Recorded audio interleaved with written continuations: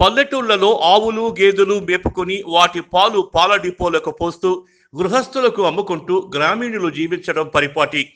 అయితే కర్నూలు జిల్లా గంజహళ్ళి కడిమెట్ల గ్రామస్తులు మాత్రం పాలు అమ్మితే పాడైపోతాం. ఆ డబ్బు మాకొద్దు అంటారు. పాలు ఎవరినడిగినా ఉచితంగా పోస్తారు. పాలు అమ్మకూడదన్న కట్టుబాటును నాలుగు వందల ఏళ్ళ నుంచి ఇప్పటికీ కొనసాగిస్తున్నారు. పాలు అమ్మకూడదనే కట్టుబాటు వెనుక ఎన్నో రకాల కథలు ప్రచారంలో ఉన్నాయి. కొందరు బడే సాబు తాత కారణమని చెబుతుంటారు. గంజిహళ్ళి జనం భక్తితో పిలుచుకునే తాత పేరు సద్గురు బడే సాహెబ్. ఆయన పదహారు వందల అరవై ఏడవ సంవత్సరంలో సజీవ సమాధి అయ్యారు. నాలుగు వందల ఏళ్ళ క్రితం గంజిహళ్ళి గ్రామంలో పాడి పశువులకు అంతుచిక్కని వ్యాధి సోకిందట. కొన్ని గోవులు గేదెలు పాలు ఇవ్వడం మానేశాయట. కొన్ని చనిపోయాయట. బడే సాహెబ్ తాత తన కొడుకు హుస్సేన్ సాహెబ్ను పాలు తెమ్మని ఊరిలోకి పంపాడట.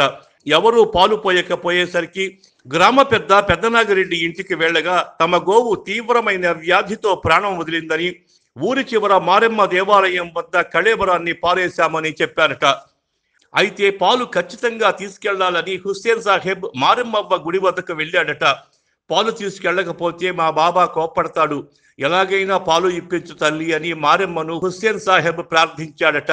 అతడి ప్రార్థనకు ప్రసన్నురాలైన ఆ తల్లి మీ తండ్రి నామాన్ని పలుకుతూ ఆవును లేపు అని చెప్పిందట. ఆ దేవత చెప్పిన ప్రకారం బాబా బోలి దూద్ దేవ్ అన్నాడట హుస్సేన్. ఆ మాటలకు ఆవు లేచి పాలు ఇచ్చిందట.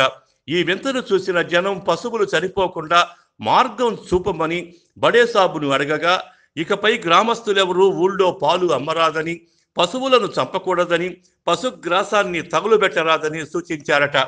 ఈ కట్టుబాటుకు లోబడి ఉండాలని ఊరి జనంతో మాట కూడా తీసుకున్నారట. ఆ రోజు నుంచి ఆ గ్రామం పాడి పంటలతో అభివృద్ధి చెందుతూ వచ్చిందట. ఆ గ్రామంలో బడే సాహెబ్ తాత దర్గా ఇప్పటికీ బాగా famous. Hope you like this video for more latest videos please like share comment and subscribe FB TV